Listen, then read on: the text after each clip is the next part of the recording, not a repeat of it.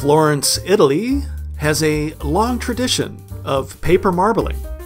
The skill was imported from Japan or Persia in the 1500s and was initially used as bookend papers and covers.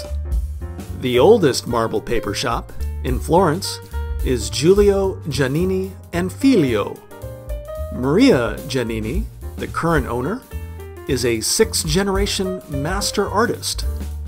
Maria discussed the bookbinding and embossing process that helped launch the family business 150 years ago. The shop has over 1,000 different embossing stamps, some of which date back to the 14th century and are still in use today. Maria started working in the family shop when she was just 13.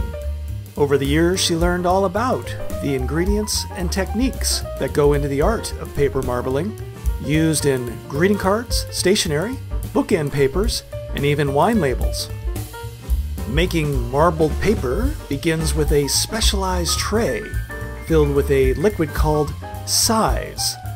Size is a gelatinous mix of water and powdered carrageenan, which is a type of seaweed. The use of ox gall helps the paint to disperse across the surface, creating a kaleidoscope of different shapes and colors. Every marble paper is different. This made it useful in the fight against counterfeit money in the 1700s. There are many tools and techniques used in paper marbling.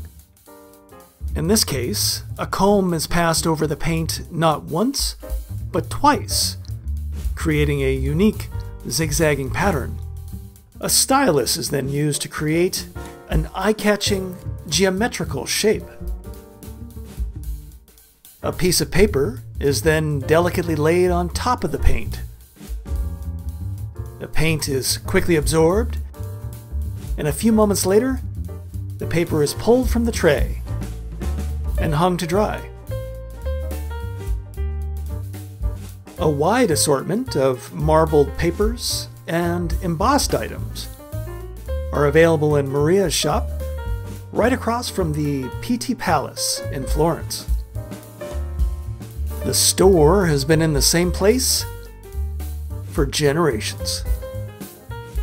It's only a few minutes' walk from the Ponte Vecchio and a couple of Italian gelato parlors featuring their own marble designs.